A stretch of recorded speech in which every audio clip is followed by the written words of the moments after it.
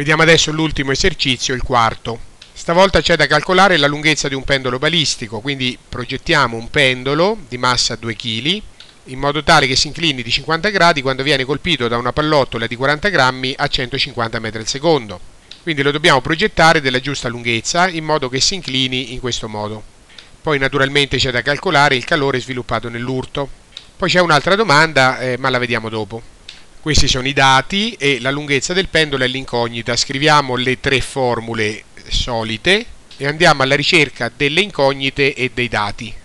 L'incognita è la lunghezza del pendolo, che si trova nell'ultima formula, quindi porto i due termini con la lunghezza, quindi L cos alfa e L eh, dalla stessa parte, a destra, quindi H uguale L meno L coseno di alfa, raccolgo l'incognita L e con la formula inversa la ricavo quindi L uguale H diviso 1 meno coseno di alfa.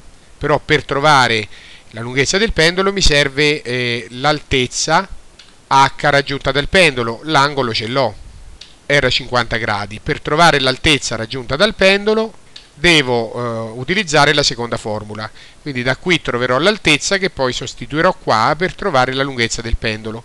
Però questa altezza io non posso calcolarla immediatamente perché non ho la velocità V' con cui parte il blocco, il proiettile dopo l'urto.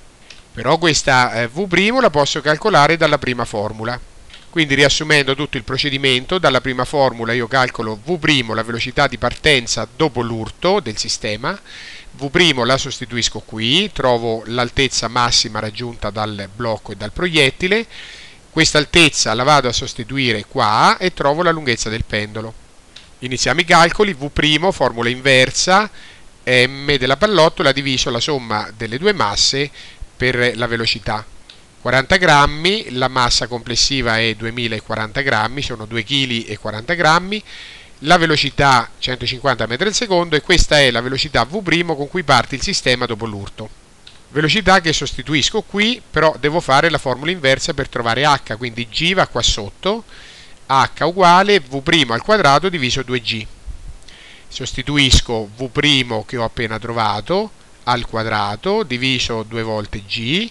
Il risultato è 0,441 metri, cioè questo pendolo si solleva di poco più di 44 cm. Infine sostituisco questo valore h che ho appena trovato eh, nell'ultima formula per trovare la lunghezza del pendolo, quindi h diviso 1 meno coseno di 50 gradi e fa circa 1,24 m. Questa è la lunghezza del pendolo. Per calcolare invece il calore prodotto procedo come nel video precedente, l'esercizio di prima, calcola, calcolo prima l'energia meccanica della pallottola, cioè la sua energia cinetica, prima dell'urto. Sostituisco i valori, 40 grammi, la velocità della pallottola 450 joule di energia cinetica. Poi eh, calcolo l'energia meccanica dopo l'urto, che è l'energia cinetica con cui parte il sistema, con questa velocità V', 2,94 metri al secondo. La massa complessiva è 2,040 kg, risultato circa 9 joule. Quindi vediamo che dei 450 joule iniziali della pallottola, soltanto 9 joule residui sono rimasti in forma di energia meccanica ben 441 joule si sono trasformati in calore, quindi quasi tutto, come nel caso precedente, cioè nell'esercizio di prima.